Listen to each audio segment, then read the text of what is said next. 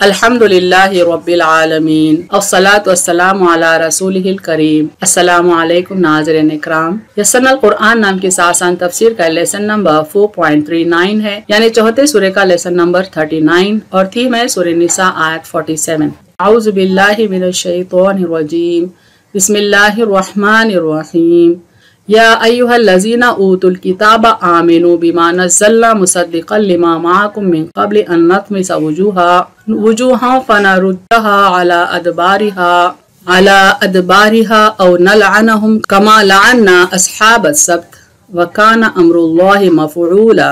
Word by word translation देखें, या अयुहा root word है अलिफ या या से, माने ए लोगो। ओ यू, अल्लजीना, अलिफ, लाम लाम, जालिया से है माने जो हु। ऊ तू, अलिफ, ताया से है माने दिए गए। आर गिवन अल किताबा काफ ताबा से है माने किताब द बुक आमिनु, अलिफ, मीम, नून से है माने ईमान लाओ। बिलीव, बिमा, बा, मीम, अलिफ से माने उस पर जो। इन, वॉट, नजलना, नून, जा, लाम से है माने हमने नाजिल किया। We have revealed. मुसद्दिका सौद दाल काफ से है, माने तस्दीक करने वाला। कन्फर्मिंग लिमा, ला, मीम, अलिफ से माने जो। What is Makum. मीम आइन से माने तुम्हारे पास विथ यू मिन, मीम, नून से माने से। फ्रॉम कबली, काफ, बा, लाम से माने पहले बिफोर अन, अलिफ, नून से माने के। दैट नकमिसा तो मीम, सीन से माने हम मिटा दे। वी एफेस वजूहा, वाओ, जीम, हा से माने चेहरे। फेसेस और काउंटेनेंसेस फनरुद्दा हा वा दाल दाल से माने फिर उलट दे एंड टर्न देम आला आइन लाम या से माने पर ऑन अदबारिहा, दाल बारवा से माने उनकी पीठ. देर बैग्स आउ अलिफ वाव से माने या, और. न लानहुम लाम आइन नून से माने हम उन पर लानत करें. वी कर्स देम कमा काफ, मीम, अलिफ से माने जैसे एज लाना लाम आइन नून से माने हमने लानत की वी कर्स्ड असहाबा सौद हाबा से माने असहाब कंपेनियंस और फेलोज असब्त, सीन, बाता से माने हफ़्ता, इंग्लिश में दसबत कहते हैं, सैटरडे, असल माने हैं, वकाना, काफ, वाव, नून से माने और है एंड इज़ अमरू, अलिफ, मीम, रॉ से माने हुकुम कमांडमेंट अल्लाही अलिफ लाम हा से माने अल्लाह अल्लाह मफरूला फ़ाइन लाम से है माने होकर रहने वाला always executed phrase by phrase translation देखें उर्दू में या लजीना ए लोगो जो ऊतुल किताबा किताब दिए गए आमिनु बिमा नज़लना ईमान लाओ इस पर जो हमने नाजिल किया मुसद्दिक लिमा माकुम तस्दीक करती है उसकी जो तुम्हारे पास है मिन कबली इससे पहले अन नकमिसा वजूहा कि हम मिटा दें चेहरे। फनरुद्दहा अला अदबारिहा। फिर उनको उलट दे उनकी पीठ की तरफ़। और न लाना हूँ या हम उन पर लानत करें। कमा लाना असहाब सब्त, जैसे हमने हफ़्ते वालों पर लानत की। वकाना अमरुल्लाह मफरूला और अल्लाह का हुक्म पूरा होकर रहने वाला है। कंप्लीट ट्रांसलेशन देखें। ऐ लोगो, जो किताब दिए गए, ईमान लाओ, इस पर जो हमने नाजिल किया, तस्दीक करती है उसकी, जो तुम्हारे पास है, इससे पहले कि हम मिटा दें चेहरे, फिर उनको उलट दे, उनकी पीठ की तरफ़, या हम उन पर लानत करें, जैसे हमने हफ़्ते वालों पर लानत की, और अल्लाह का हुक्म पूरा होकर रहने वाला है। Phrase by phrase translation English में देखें, या लजीना ओ यूहू, ऊतुल किताबा, आर गिवन द बुक आमिनु बिमा नज़लना believe in what we have revealed. Musaddiqan lima ma'akum confirming that was already with you. Min qabli before this. And natmisa wujuha that we efface faces. Fanaruddaha ala adbariha and turn them on their back. Or nalanahum or we curse them. Kama la'anna ashab as-sabt as we curse the fellows of Sabt. Wakana amrullahi maf'ula. The commandment of Allah is always executed. Complete translation देखें. O you who are given the book, believe in what we have revealed, confirming that was already with you before this, that we efface faces and turn them on their back. Or we curse them as we curse the fellows of Sabbath. The commandment of Allah is always executed. तफसीर आयत देखें सूर्य निसा आयत number 47 under focus है उसका पहला phrase है, या लजीना उतुल किताब आमिनु। ए लोगों, जो किताब दिए गए, ईमान लाओ इस पर जो हमने नाजिल किया। अहले किताब को इस किताब, यानी कुरान पर ईमान लाने की दावत है। खास तौर पर इसलिए भी क्योंकि वो जान चुके थे कि मोहम्मद सल्लल्लाहु अलैहि वसल्लम अल्लाह के नबी है और कुरान अल्लाह का कलाम है। यानी करंट आयत जो फोकस में है, उसका पहला हिस्सा ये बता रहा है कि अल्लाह ने पहले किताब को, जिसमें यहूद और नसारा दोनों आते हैं उनको कुरान पर ईमान लाने की दावत दी है और फरमाते हैं कि ये हमने नाजिल किया है, यानी अल्लाह का कलाम है। और इसलिए भी उनको ताकीद की जा रही है कि वो इस बात को पहचान गए थे कि मोहम्मद सल्लल्लाहु अलैहि वसल्लम की रिसालत हक है और आप पर जो किताब नाजिल हो रही है, वो बेशक अल्लाह का कलाम है। इस बात को अहले किताब बहुत अच्छी तरह पहचान गए थे, इस बात को जान गए थे। लेकिन हक को पहचानने के बावजूद भी उन्होंने हक का इनकार किया, बल्कि इस हक को लोगों से छुपाया। इसका ज़िक्र अल्लाह ताला सूरह बकरा में करते हैं। अल्लजीन आतईनाहुमुल किताब यारिफूनहु कमा यारिफून अबनाअहुम, व इन फरीक़म मिनहुम लयक्तुमूनल अलहक व हुम यालमून। जिन लोगों को हमने किताब, यानी तौरात तो इंजील दी है वो लोग रसूलुल्लाह सल्लल्लाहु अलैहि वसल्लम को ऐसा पहचानते हैं, जिस तरह अपने बेटों को पहचानते हैं। यानी जिस तरह से एक आदमी अपने बेटे को यकीनन पहचानता है, अच्छी तरह से जानता है कि उसी का बेटा है इसी तरह यहूद और नसारा ये बात से वाकिफ थे कि मोहम्मद वसल्लम यकीनन अल्लाह के रसूल है।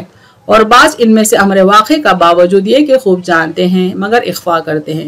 यानी इस हक को जानने के बावजूद भी इस हक बात का लोगों से इख्फा करते थे, उसको छुपाते थे।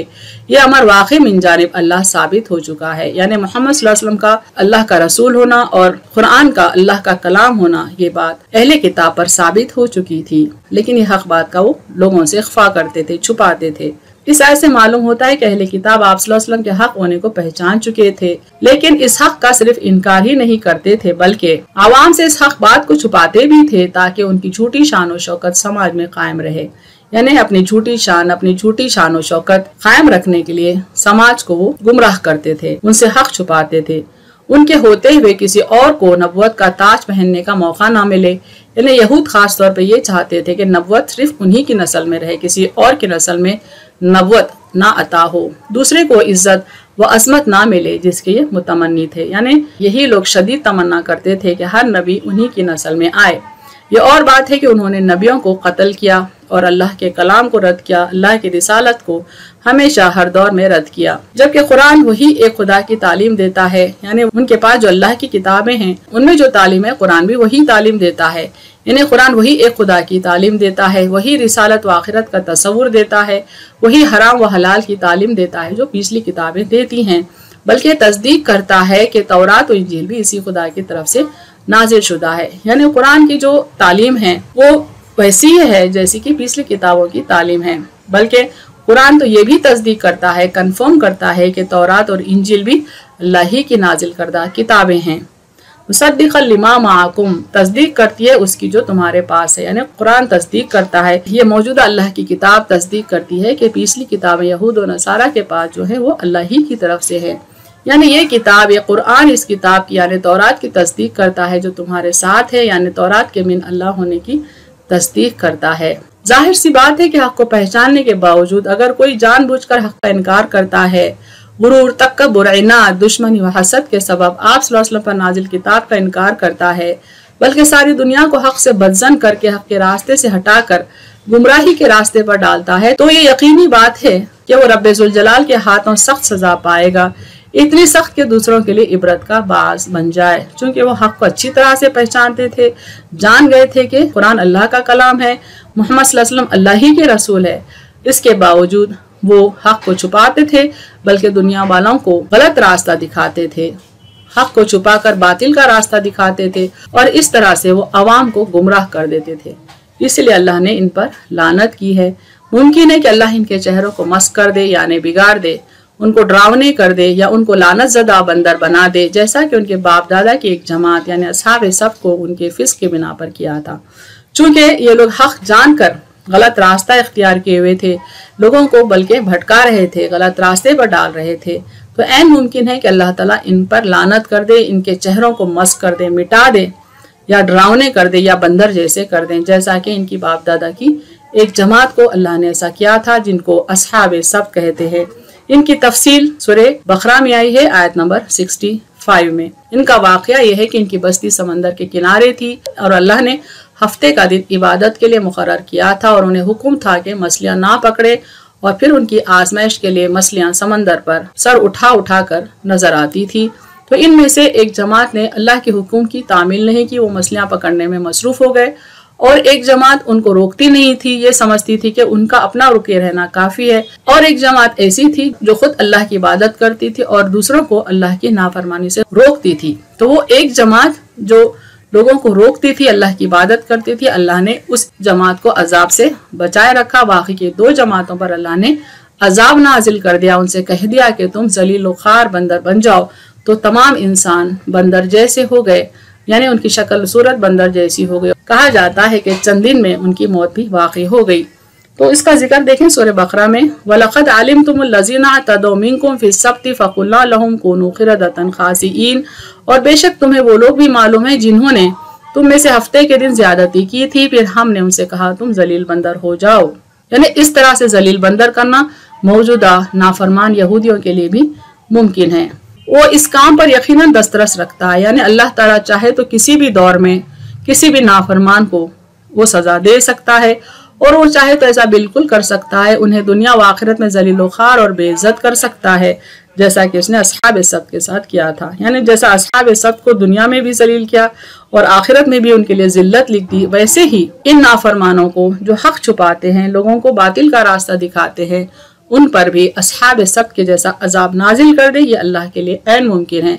बल्कि वो जलील कदर है, वो सजा देने पर आया तो फासिकों को बंदर ही नहीं, खिंजीर भी बना सकता है। यहाँ पर फासिक से मुराद ऐसा गुनाहगार है जो जानता है कि ये फला काम गुनाह है। यानी गुनाह को पहचानते हुए, गुनाह को गुनाह समझते हुए भी जो गुनाह करता है, वो अल्लाह की नज़र में फासिक है। तो ऐन मुमकिन है कि अल्लाह ताला फासिकों को सिर्फ़ बंदर ही नहीं, बल्कि खिंजीर भी बना दे। चूँकि ऐसा माजी में हो चुका है। सूर्य मायदा, आयत नंबर साठ में इसकी तफसील आई है।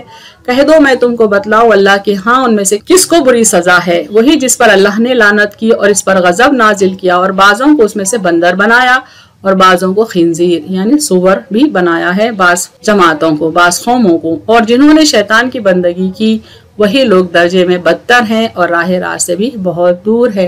अल्लाह की वहदानियत का जो रास्ता है अल्लाह वाहिद का बताया हुआ जो रास्ता है, वो अगर कोई इंसान छोड़ता है तो बाय डिफ़ॉल्ट खुद ब खुद ही वो शैतान के रास्ते पर चला जाता है। तो जिन्होंने जानबूझकर गुनाह किया, अल्लाह के रास्ते पर चलने से इनकार किया, शैतान का रास्ता जिन्होंने अपनाया, अल्लाह ने उनमें से किसी को बंदर तो किसी को खिंजीर बना दिया और उनके वाकयात लोगों के लिए इबरत के तौर पर महफूज कर दिए। इन्हीं तमाम बातों को सूर्य निसा के साथ यानी आयत 47 में अल्लाह ताला यूँ फरमाते हैं नकमिसा वजूहों फनरुद्दहा अला अदबारिहा और न लानहुम कमा लाना असहाब सब कि हम मिटा दे चेहरे, फिर उनको लड़ दे, उनकी पीठ की तरफ़, या हम उन पर लानत करें जैसे हमने हफ़्ते वालों पर लानत की। चेहरे पीठ की तरफ़ कर दे के माने ये हैं कि चेहरे से आँख, नाक, मुँह, कान वगैरह ऐसे मिटा दे, जैसे कि पीठ की तरफ़ ये तमाम आज़ा गायब रहते हैं। इसके एक माने हुए। या उनके मशुदा चेहरे जिसम के सामने की तरफ़ नहीं, पीठ की तरफ़ होंगे उनसे उनकी शक्ल और हैकल जिल्लत आमेज हो जाएगी। इसके ये माने भी हैं कि वो रुख फेर कर जलील खार होकर भाग जाएँगे। यानी मुख्तलिफ़ माने, मुख्तलिफ़ मुफसरी ने बताए हैं इस फ्रेज के। चेहरे पीठ की तरफ़ कर दिए जाने के एक माने तो ये है कि चेहरे से नुखुश मिटा दिए जाए, यानी नाक, आँख, कान वगैरह ही सरे से अल्लाह मिटा दे या चेहरे को मस कर दे, बिगाड़ दे या उनको पीठ की तरफ़ कर दे। यानी ऐसे कर दे जैसे कि पीठ की तरफ़ कोई नुखुश नहीं होते हैं, वैसा चेहरा कर दे। एक माने ये है कि वो जिल्लत तो खारी से रुख फेर कर मैदान छोड़कर फरार हो जाए। और बेशक अल्लाह इस बात पर पूरी तरह खादिर है और वो ऐसा ज़रूर कर सकता है अगर वो चाहे। वकाना अमर मफूला और अल्लाह का हुक्म पूरा होकर रहने वाला है। यानी अल्लाह ताला सौ फ़ीसद इस बात पर खादिर है कि जो फैसला करे, उस पर अमल कर दे। जो सज़ा चाहे वो अपने बंदों को दे डाले।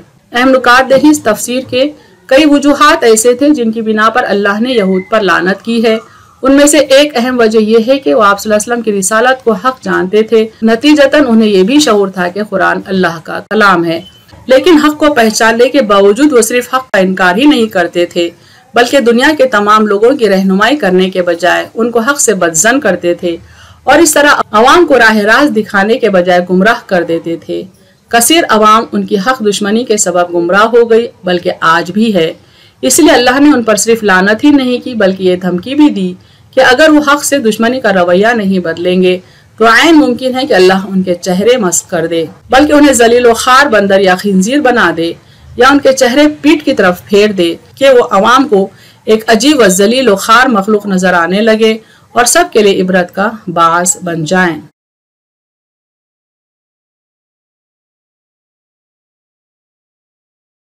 वाखिर दावाना अनिलहमदिल्ला रब्बिल आलमीन